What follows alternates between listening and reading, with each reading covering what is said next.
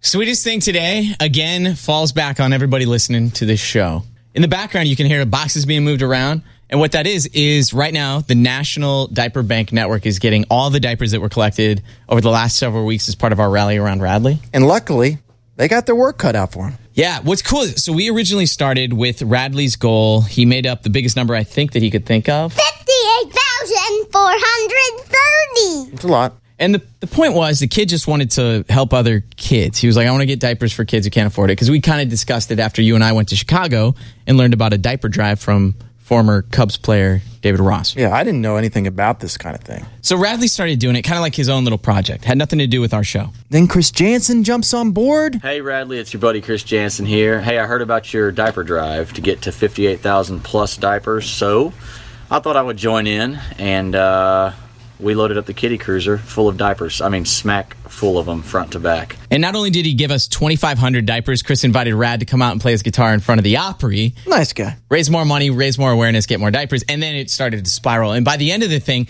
we not only hit the goal, we reset the goal for 150,000 diapers. Which you stressed you out. Oh my god!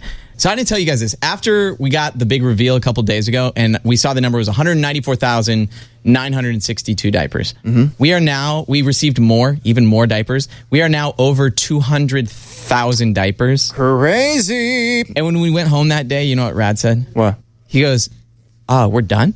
I want to keep doing it." Isn't that awesome, That's dude? good. You, you're instilling good qualities. Anyway, thank you to everybody that sent in diapers because even after we finished the diaper drive, people were like, I still want to be part of it.